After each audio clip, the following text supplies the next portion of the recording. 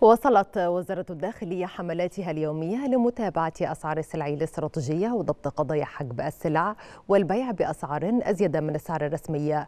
وتمكنت وزارة الداخلية خلال 24 ساعة من ضبط 689 قضية تموينية بمضبوطات بلغت 752 طنا.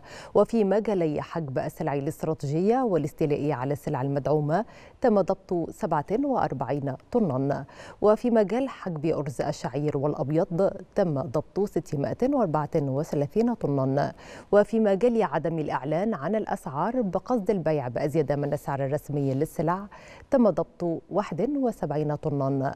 وفي مجال قضايا المخابز تم ضبط 917 قضية من بينها 243 قضية خبز ناقص الوزن و272 قضية خبز غير مطابق للمواصفات.